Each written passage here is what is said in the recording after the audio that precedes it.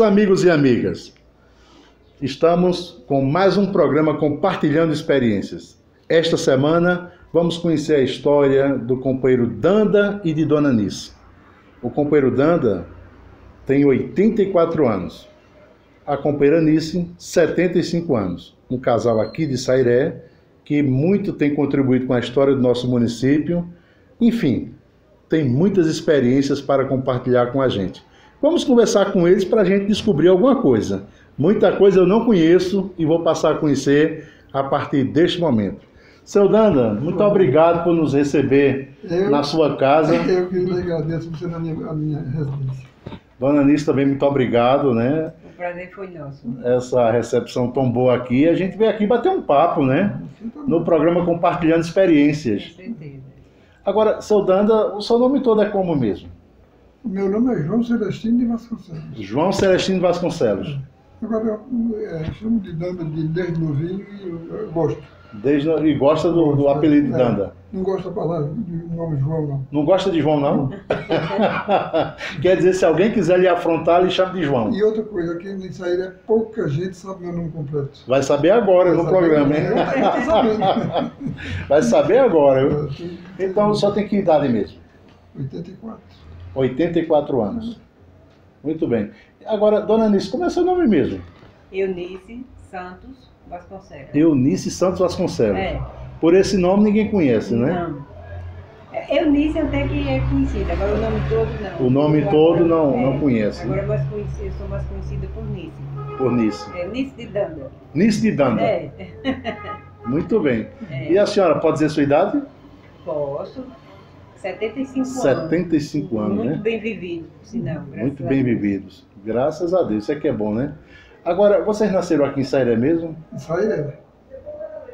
A- Aqui mesmo na Não, cidade? nasci, nasci no sítio Mano, Sítio Mano. que hoje é de Caribé. Ah, Nasci naquela casa que nasceu toda a família de, de Luiz, Luiz Pontes. Luiz Pontes. Luiz Pontes comprou, comprou esse sítio a meu pai para casar. E, e eu, mas meus irmãos, menos dois. É, só você não, não conheceu um, você, não- um morreu, foi Brian, né? Esses dois não nasceram. Nezinho e Brian não nasceu no ano. E os seis nasceram todos no ano. No sítio Mano. Hoje aquele sítio chama-se Barra de Boa Vista, né? Não, é, continua sendo mano, sendo mano. Tem também continua sítio Não Mano. sei se mudou, José. Muito bem. E Dona Anice também nasceu aqui em Sairé? Sítio Cachoeira Grande. Sítio Cachoeira É, Grande. município de Sairé. Muito bem, que é próximo, né? É, Próximo. Eu, eu tenho observado que as pessoas não, não procuravam, por exemplo, namorar uma moça muito distante, não, né? Era- Procurava sempre os lugares mais próximos. nós somos primos legítimos, né? Primo também. É, Ah, Eu já, já escutei várias histórias assim. Primo casando com primo. é. Pa- Olha- Papai é, é irmão. é, papai é irmão da, da mãe dele. Ah, muito bem. É, legítimos. Agora, né? me dizem, não sei se é verdade, vou conferir agora, né? Dizem que ah, se procurava casar entre primos, que era para não misturar família. É verdade isso? Ah, eu não tenho esse conhecimento, não. Não tem não, né? Não. Foi o amor mesmo que É, aconteceu. amor à primeira vista. Primeira vista. Amor à primeira vista? É, primeira, vi- primeira vista. Nove anos, eu botei o olho nela. Ela tinha nove anos. Nove Eu tinha anos. nove anos. É. Eu já tinha 17, 16 por aí. Mas não namorava, só, só de olho. Só de Só olho. de, só de, de olho. Ah, não conta moça. Ah, como é que é essa história? é, Era noivo com outra pessoa? Mas havia uma, uma caçada que eu fiz juntamente com meu, meu irmão Lé, menininho, e ela vinha do colégio, estudava na casa de Pessoinho, e a gente ia passando debaixo de uma cerca na hora que ela ia passando. E quando eu a vi, eu, eu até perguntei a minha porque eu não conhecia ela. Mesmo sendo prima, não Não conhecia. conhecia, eu conhecia as outras duas. Socorro, que é a esposa do meu irmão, Lé, e Zuleide, que mora em Recife. Você acha que nem conhece. Pois aí eu perguntei ao meu irmão, né, quem é essa mocinha? Ele disse, não é minha filha de Santino? Nice. Aí eu, ela diz ela também que aconteceu o mesmo com ela, e foi indo, foi indo ao casamento. Ah, mas aí, mas o senhor era noivo, né? Era noivo. E aí? Depois, de uns sete, oito meses, aí se desfez do casamento, da noiva que eu era, noivo, da moça que eu era noivo, e passei por outro lado e deu certo. Até hoje, graças Estamos hoje com 58 anos de casado. 58 anos. 58 e parece que casamos, casamos ontem, viu? Ah, coisa boa, né? Graças a Deus. Porque, assim, E, e Cada dessa união, melhor. e cada dia melhor, né? E É. dessa união nasceram alguns filhos. Dois. Dois. Jailson, É. depois que é o militar, né? Jailson É, e Rogério, que e Rogério. é. Ok. Está até com uma depressãozinha. Muito bem. São dois filhos. Dois É. filhos. Muito bem, interessante. Aí o senhor sempre morou aqui em Sairé. Não, eu, eu olha, eu, eu, eu, eu, se for contar minha história, demora muito. Porque eu, eu fiquei em Sairé até assim, 21 anos de idade. 21 anos. Nos 21 anos eu deixei Sairé e fui para São Paulo. Já era casado. Não, solteiro. Solteiro ainda? Não, era, era noivo com a outra. Quando eu fui para São Paulo. Era noivo com a Com a outra. outra. E ah, trabalhei lá em São Paulo quatro anos. Nesses quatro anos vim aqui e continuei noivo com a outra. Quer dizer que o senhor passou mais de cinco anos noivo com outra pessoa. Passei, não, não- é mais ou menos. É, não, só- não chegou cinco anos, não. Não chegou. Mas chegou perto, né? Porque só quatro anos senhor passou em São São Paulo. Paulo. E ainda noivo, né? É, noivo. É.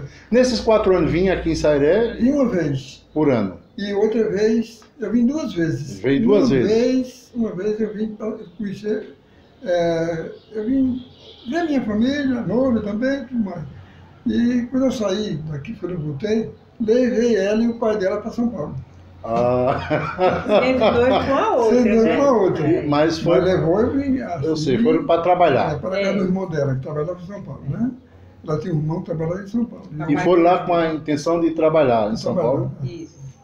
Aí é, eles vieram-se embora com cinco meses e eu continuei lá, entendeu? Em São Paulo. Inclusive me aconteceu um acidente muito grave, não sei se posso dar continuidade a essa. Pode sim, Pode. pode sim. E aconteceu um acidente. No dia que elas chegaram aqui em Sairé, eu sofri um acidente na refinaria de. é, na refinaria é, Batão. Cubatão é. Tenho o nome da. A refinaria de Cubatão. Eu caí de cima de um tanque, eu era pintor. Caí de cima de um tanque daquele embaixo. E passei 70, oito, noi- 78, dias- 77 dias internado. 77 dias internado. Posso continuar? Pode sim. Pois é. Aí me recuperei, mas não me recuperei totalmente. Eu, a firma me tirou da, do hospital, eu já pude andar, e me colocou numa pensão para me recuperar mais ainda, uma firma boa. Era um húngaro, mas era um, muito decente, muito bom. E eu fiquei um mês né, repousando na praia para me recuperar mais, para poder, poder continuar no meu trabalho, no meu trabalho né, de pintura, pintura a pistola, nos tanques. Então, você deve saber que eh, aqueles tanques enormes, 14 metros de altura, eu caí de cima de um. E aí eu vim para cá. Cheguei aqui, eu terminei o casamento. Acabou com o casamento. Com a outra, não, não, não, não, dava- não era- Não tinha um amorzinho lá no coração, não? não, não era o que eu queria, né? Não era? Não era o que eu queria. Eu, o que eu queria era outra. Era... Ah, mas já estava de olho na outra? Tava, Ah. todos dois, todos dois. No passeio a gente quase decidiu, viu? Quase decidido no passeio. Mas o, o pai dela ia, eu com muito respeito, inclusive ele é meu sogro, meu padrinho, meu tio, que ele é irmão de minha mãe, né? Santino Silvestre, você conheceu. Seu pai conheceu muito. Aí a gente formou, começamos a namorar e. Ah, Como foi que começou esse namoro aí, hein? Olha, eu cheguei em São Paulo e você não quer saber, eu cheguei ah, com uns, uns três meses, quatro meses mais ou menos. aí. Você chegou em novembro e a gente começou a namorar em, em É, abril. Eu terminei o casamento e nós começamos a namorar em abril. E em, em julho eu noivei e voltei para São Paulo, para minha filha que estava me esperando. Eita. É. Aí eu voltei, trabalhei, mas trabalhei, completei quatro anos ao todos. Aí senti que já podia vir, voltei, inclusive abri um, uma casa, uma lanchoneta, um, restaurantezinho aí em Sairé, naquele tempo muito fraco, muito, não, não é como hoje. Se fosse com outro, eu tinha continuado aqui, mas não deu. Eu, eu fiz uma, um negócio.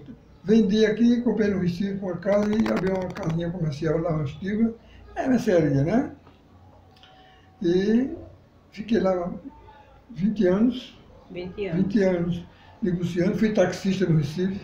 Taxista. Taxista. 7 anos. 13 anos, aliás. O senhor foi comerciário, Foi. comerciante, pintor, taxista. Taxista, Ela ficava por conta da, da, da mercearia, mais irmã dela e e Nezinho, meu irmão, e eu na praça. Comprei um táxi, já estava já tava frocado, né? É, comprei um táxi, trabalhei 13 anos. Aí eu vi que não dava, já estava na hora de parar. Nesse meio ponto eu ainda fiquei com ela, uma sequela do acidente, e me tratando, sofrendo bastante. Aí me aposentei, com invalidez, né? Com invalidez. Sofri muito e resolvi, quando me aposentei, eu digo, eu vou sair do Recife, está muito quente, eu não me dou muito bem aqui. Aí desci direto para Caruaru, comprei uma casa em Caruaru. Lá fiquei sete anos, já estava aposentado, aí é, também comprei um táxi em Caruaru, fiquei sete anos no táxi, Caruaru. E daí vim para Sairé. Em Sairé, eu coloquei um, um aqui embaixo, você deve ter conhecido. E fiquei, ficamos uns, uns nove anos, tá? mais ou menos, oito, nove anos com a lanchonete aqui. Passou bastante tempo, né? Porque teve o tempo da sinuca. É, É. eu fiquei um tempo, né? E deu certo o negócio, né? Graças a Deus deu certo, eu, eu muito seguro, cuidadoso, né? O que eu adquiri em São Paulo, eu segurei muito aqui, e graças a Deus eu estou, estou numa vida, vou dizer, privilegiada, não é totalmente, mas dá, dá para ir levando, né? Com minha aposentadoria, ela também, eu paguei o INSS dela do comércio também, se aposentou também, nós dois somos aposentados, entendeu? E levando. E o senhor ficou famoso aqui como vendedor de café Ah, foi, cigarro. e de cigarro. Cigarro. Eu vendi bastante cigarro muito. Parece que o cigarro melhor era o do É. seu Danda, né? Todo mundo, lá em Danda. E o dizia- café também. E o café não, só tinha café lá em Danda, E né? café, Vender foi- foi na casa tinha esse, Danda Café, né? Danda Café. Eu vendia aqui uma base de 200 cafezinhos por dia aqui. E, por dia, né? E cigarro era uma base de 14, era 200, 200 pacotes por quinzena. Eu tinha uma cota de 400 pacotes por, por mês na, na, na Souza Cruz, que eu só vendia Souza Cruz. Eu não quis nada com negócio de aquele cigarro contrabandeado, eu nunca... Nunca, Nunca quis. Não, quis, não. Eu não conhecia essa sua história, essas profissões todas, essas experiências, viu? É. Aí, graças a Deus, hoje a gente está num apartamentozinho, tem uma casinha alugada, tem aqui embaixo é nosso também, você sabe. Uns dinheirinhos debaixo do colchão. Não, assim, né? É cuidadoso, né? Cuidado, É. pode dar incêndio, viu? Não pode. É, mas eu, eu sou prevenido, sou muito cuidadoso. É, tenho um filho que era, era, ele é excepcional, é especial, você deve saber disso. Ele, inclusive, ele fez uma besteira que eu fiquei. Mas é, mas é a vida, a vida é assim, não é? A gente, né? é, a gente, na vida da gente, acontece coisas. É, Agora, eu vejo, e todos estão sentindo, não é, que estão nos assistindo agora, que vocês têm uma. Vocês formaram uma dupla e uma dupla vitoriosa. É um casal vitorioso. Eu não encontrei uma só pessoa aqui em Saré que conversasse comigo e que levantasse algum fato, alguma coisa que desabonasse a sua conduta, a conduta da companheira nisso. Muito pelo contrário, eu só encontro pessoas que fazem elogios. Elogios e elogios. E a gente sabe que não é somente bondade das pessoas, é que vocês são assim mesmo. É, eu sou assim mesmo. Eu sou um livro aberto. Entendeu? Sou cuidadoso com as coisas que faço. Gosto de tudo certo, eu não gosto de nada errado. Inclusive, eu vou, eu vou voltar ao assunto do meu, filho, nosso filho, que ele fez uma bobagem através de amigos. Ele não tinha, não, não tinha, ele está tá, tá, tá, tá com depressão Tá. Está com depressão. Pois é. E eu, digo- eu prometi a você que ia tirar ele de lá e tirei, comprei uma casa de bezerros. Ah, sem dúvida. Não, mas É, bom, mas, mas não é se pra- preocupe, Não, não- é para contar a história. Não, se preocupe não. É, com relação, na verdade, o senhor Dano está falando de, de, de alguns fatos, né? Porque como pai sofre, né? O pai e a mãe sofrem quando tem algum filho assim que tem certas porta algumas deficiências, né? Mas isso é totalmente compreensível, porque isso é com qualquer pessoa, não é? Com todo mundo. Mas o importante realmente é que o senhor sempre fez a sua tarefa, o dever de casa, como a gente costuma dizer. E Dona Nisso sempre foi muito, Muito, né? muito. muito atenciosa, sempre observadora, né? E hoje vocês têm um filho, Jails, que é, é- é- é, era, é sargento. É sargento, né? Sargento da polícia. Muito bem. Isso é a vida dele. Muito bem. Então, Ela, ela Sargento da aeronáutica. sargento, da- sargento da aeronáutica, Que é controladora de voo controladora de voo. e é biomédica. Muito bem. É, e É a formada- sua neta. forma- é, a minha neta, a nossa neta. E é formada em inglês. Que para fazer, para ser. é, Tem que ter um bom idioma inglês, né? É. Para controlar Muito bem. Não. Você não conhece muito seu neto, Janaílson. Ah, ele falou em você. É, lá no, no. Muito bem. Ele está em Recife? Ele está em Caruaru. Ele continua em Caruaru, né? Nunca mais encontrei com, com o Janaílson. É, ele parece que mudou de loja, parece. Foi. Mudou. Ô, seu Danda, e na história de Sairé, o senhor nunca se interessou em ser um candidato aqui, não? Não. Olha, eu não tenho tendência para política. Tem não, né? E depois desses exemplos que a gente está vendo agora pela É, televisão, aí hein? sim. Aí é que é desesperador, Eu né? sou admirador de uns políticos em Sairé. Inclusive, não é porque você está na minha casa, mas eu sou admirador. Aí, apesar de que nós nunca conversamos nem uma hora, nem dez minutos juntos. Nem 10 minutos, é verdade. É, se cumprimenta, eu me dou muito, me gosto. Admiro, admiro você. Todo, toda reunião eu estou ali sentado assistindo. Todos falaram, né? Se, eu não, se você não falar, eu para mim perdi. Muito obrigado. É, eu gosto muito do jeito que você é político aqui. Inclusive, você vai me desculpar, mas eu vou falar. Inclusive, eu já falei para minha esposa, o Zé vai ser prefeito de uma vez- um dia. Eu... E quem sabe se não é em 2018. É, Essa é a minha opinião. Eu não estou um acrescentando prefeito. nada e é candidato. Candidato você vai ser, você vai ser candidato. Quem sabe, hein? Quem sabe, hein? É isso. Muita gente está nos assistindo agora, hein? Quem sabe, hein? Eu Muito bem. Estou falando a verdade. Com Eu certeza. não estou Com aumentando aqui nada, meu, livro é aberto. Seu Dando, e nessa vida, tem alguma coisa que o senhor se arrependeu de não ter feito? Tem uma frustração na sua Eu, vida. eu fui frustrado numa doença da, do acidente que eu tive. Eu fui sim. Mas é sobre trabalho que está Sobre, falando. sobre trabalho. Não, sobre trabalho eu fui frustrado do, Eu sei. do, do acidente. Não. Você tem uma frustração na sua vida que você queria ser o Ah, não sim, foi. sim, sim. Eu, eu sou, tenho uma frustração porque eu queria ser eu queria Militar. militar. Ah, queria ser militar. Queria ser e fiz os testes juntamente com Agenor Barbosa, Zé Barbosa, o Wilson de Gandão, Ne- um neguinho que tinha que chamar Nego Benedito. Eu passei em tudo. Eu admiro, você não conhece, mas é um colega na- nosso que está na Bahia, aqui em, em Minas, e eu queria ser militar de todo jeito. E na última hora eu fui reprovado. Fiquei Na última doente, hora. Através de um dente estragado. Um dente estragado. Eu não passei no corpo, me dispensaram, eu fiquei doente. Minha frustração é, foi maior, maior, eu estava até esquecido. É. E foi isso aí. Isso aí. Sobre o resto, eu, graças a Deus, tenho tido muita sorte, porque tive uma, tenho uma boa companheira, boa esposa, uma boa mãe, uma boa. é, graças a Deus, deu tudo certinho. Agora veja, o seu sonho de ser militar não foi realizado, né? Não foi. Aí seu filho foi e realizou o Foi ele, sonho. foi. Com ele, certeza, foi. ele se realizou no Aí a sua neta também realizou o sonho, né? Hoje é uma autoridade Eu aí, hein? incentivei os, todos, os dois, passei. O Icleison também, eu chamo com ele Cleison. O nome dele é Janaílson Cleison. Mas a gente chama de Cleison- de Cleison. Pois é, ele continua trabalhando, ele é formado em administração é supervisor de uma, uma empresa muito boa, é no Recife, mas ele trabalha em Caruaru, né?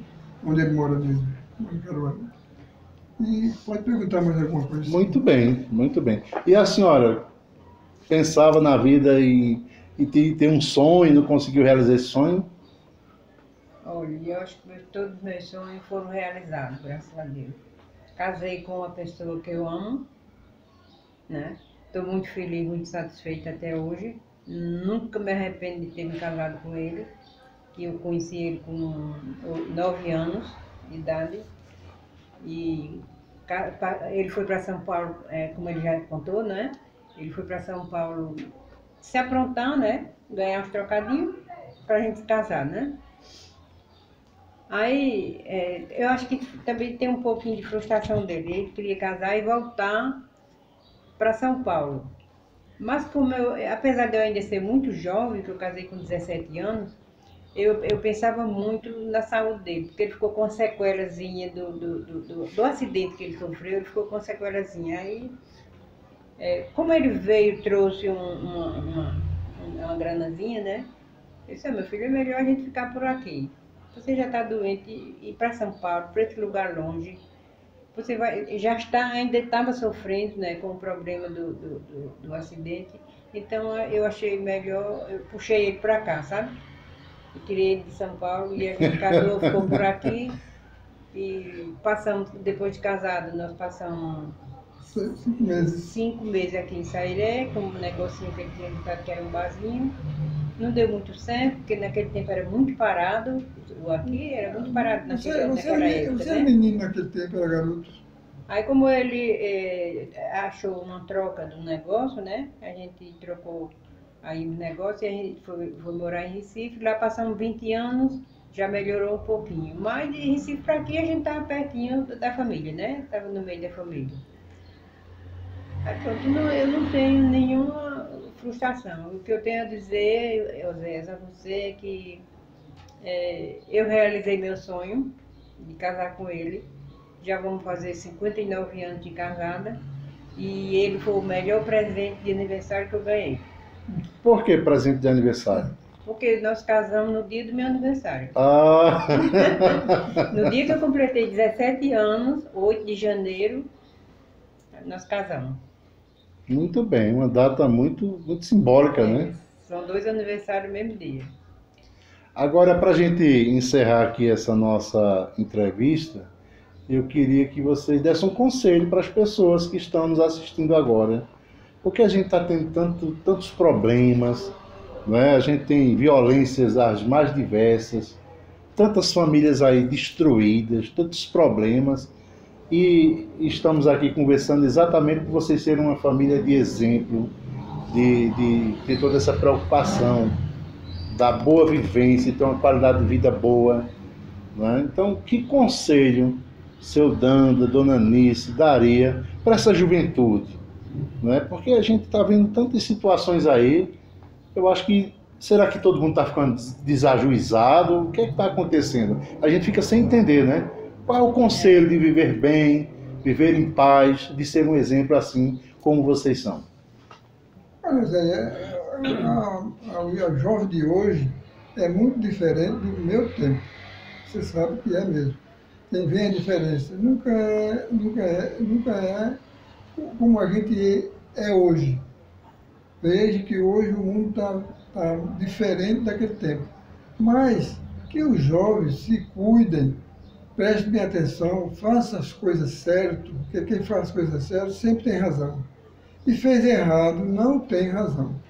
Então eu gosto de me manter, me manter e, e aconselhar, estou aconselhando algum jovem, que sigam Prestem atenção às coisas erradas e deixe do lado e procure fazer as coisas certas para ver se esse mundo muda, que é difícil.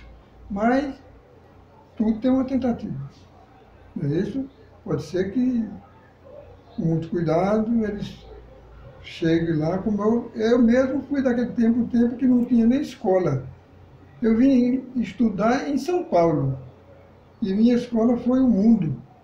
Eu lendo jornal sozinho, jornais, lendo livros, está aí minha, tá ali minha, meus livros, e, e o jovem de hoje não quer, quer mais é vaidade. Meio de comunicação, é, né? Hoje é, tirou muito o sentido da, da, das famílias, né? A senhora acha que os meios de comunicação têm atrapalhado? Eu né? acho que atrapalha muito, José, porque hoje o meio de comunicação é, começou por televisão, né?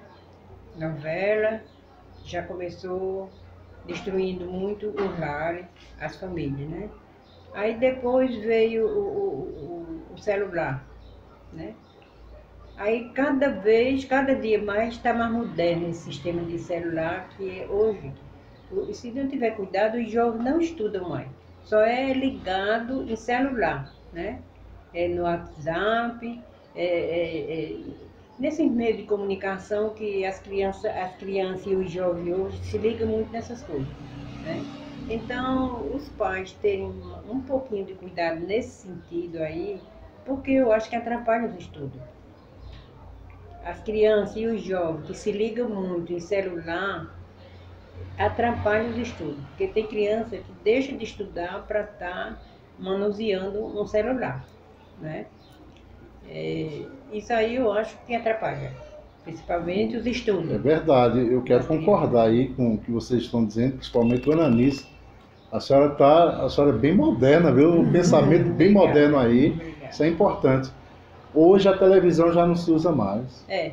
Né? Eu, tenho, eu tenho uma filha jovem, tenho uma criança de 9 anos, e a televisão não se liga praticamente porque tudo está no celular, é. rede social, aí YouTube, e, inclusive nós estamos aqui, né, utilizando a rede social, o YouTube e tudo mais. É. Que eu acho que é importante, quer dizer, essa ferramenta hoje é, de comunicação mudou.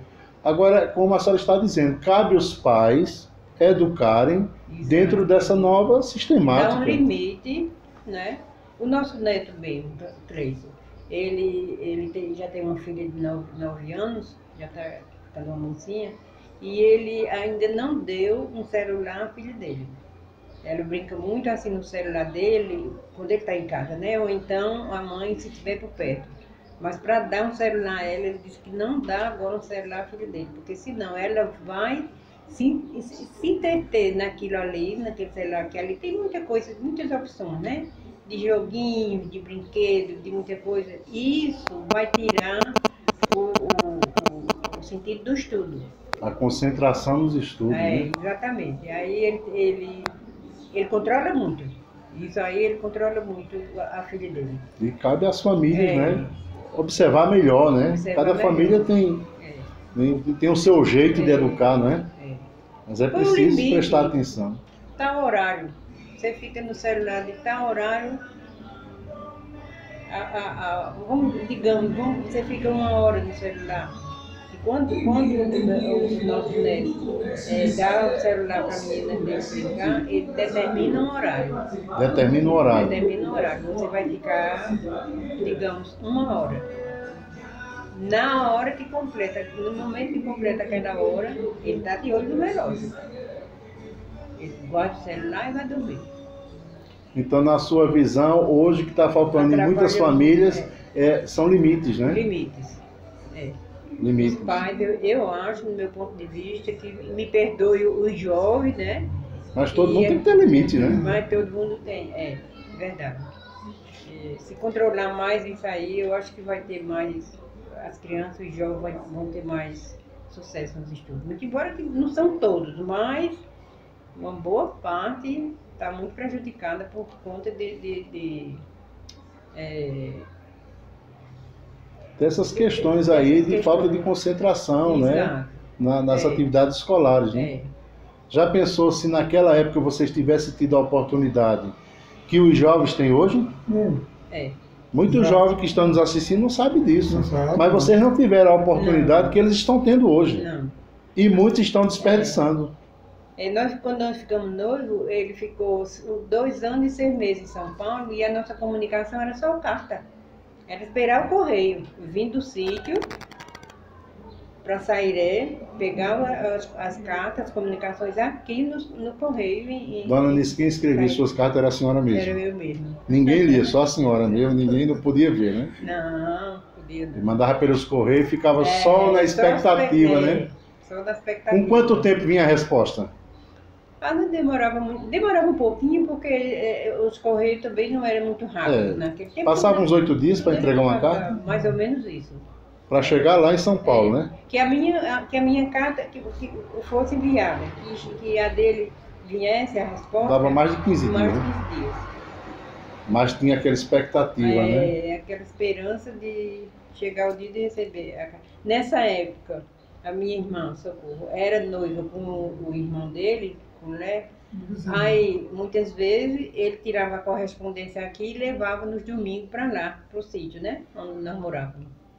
Muito- Hum, Foi carteiro nosso também, viu? Foi carteiro, né? Foi. E seu Dandé era o senhor que escrevia as suas cartas para ela. Ah, Era eu. Ninguém podia pegar, ninguém podia ver, né? Não, não era eu que escrevia. Escrevia, né? Ficava só na expectativa, né? E guardava. O que é que vem?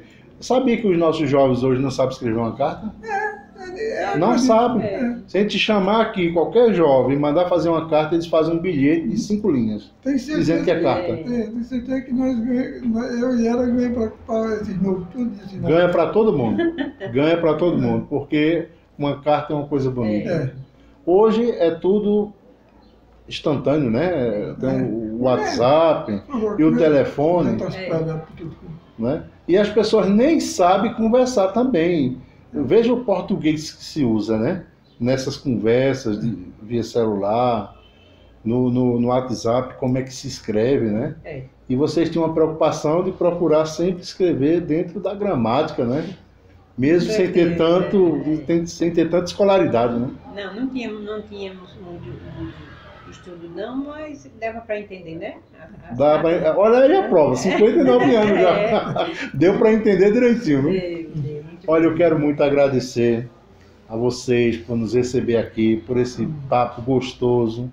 Para mim, eu ganhei um presente hoje de poder ter vindo aqui, de ter conhecido um pouco dessa história e de poder compartilhar, vocês permitirem para a gente compartilhar essa história, para que mais pessoas tenham acesso e conheça quem é o companheiro Danda, que não gosta de ser chamado de João, é Danda, e a história da companheira Nice uma história de sucesso, um bom exemplo, um casal de valor que a família tem grande consideração e Sairé, a cidade de Sairé tem grande consideração a vocês e eu vim aqui conferir de perto e saio daqui com muito mais alegria do que entrei. Se eu já entrei aqui com muita alegria, eu vou sair com muito mais alegria por ter tido o privilégio de ouvir uma história tão bonita como essa de vocês.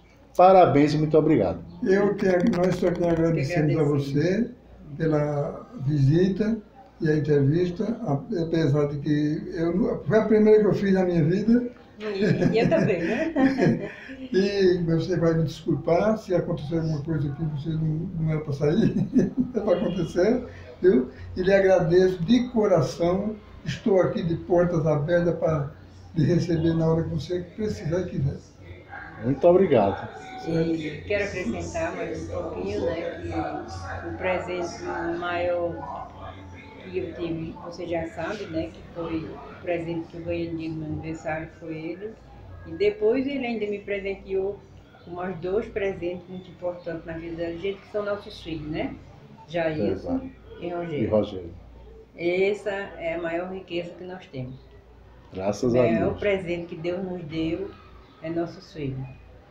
Muito É, bem. e depois nossos netos, né? Nosso o Janaílson, a Maria Jailma e, e, e bisavós que somos, né? Já somos bisa já. Já é bisa, né? É, a bisa é, Giovana, que é nossa bisneta. Janaína. E agora está chegando um bisnetinho, agora no dia 19 de, de setembro está chegando o, o, presente de mais um bisnetinho que é da nossa neta Jailma. Oh, coisa boa, né? Tá, a nossa família é está importante. crescendo, Está graças crescendo, a Deus. graças a Deus, né? É. Muito obrigado. Meus amigos e amigas, conferimos essa, essa linda reportagem, essa entrevista que traz para a gente a certeza de que o mundo poderá ser melhor. Aqui nós temos um exemplo de pessoas que sempre promoveram a paz, a concórdia e que nunca perderam a esperança de o dia da manhã ser melhor do que o dia de hoje. Está aqui um grande exemplo para todos nós. Até a próxima semana. Muito obrigado a você que assistiu esta matéria, a este documentário. Esperamos que você possa compartilhar para que muitas pessoas tenham acesso a toda essa temática tratada. Em breve nos encontraremos.